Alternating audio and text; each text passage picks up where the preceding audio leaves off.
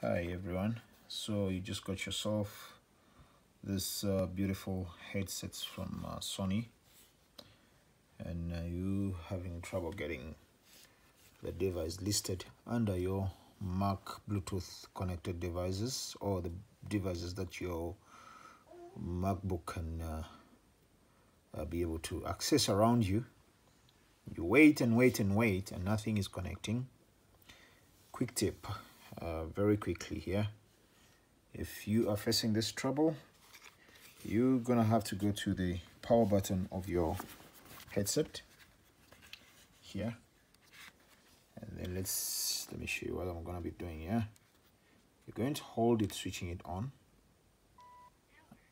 And you will hold it for quite some time. Keep holding for a few seconds. Keep holding.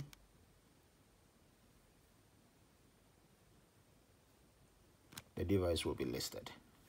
So all you have to do is to hold your power button next to your MacBook and uh, finally MacBook will be able to recognize the device around uh, and it will list it under the Bluetooth devices that MacBook can see and that way you will be able to connect.